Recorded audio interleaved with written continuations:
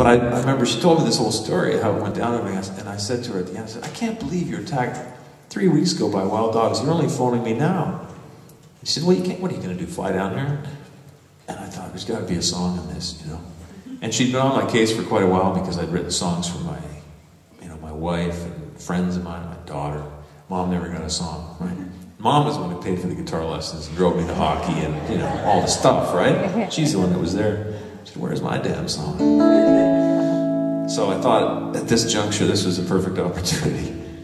I was working on this instrumental piece, which kind of had a little bouncy section to it, which would be, you know, walking along, and then it gets kind of moody and dark, and that would be when the dogs appeared. And I thought, what am I going to call this thing? Well, I could, I could call it, I can't believe you were attacked by wild dogs and didn't phone me right away. That seemed a little long, so I just, it's called Dog Bite.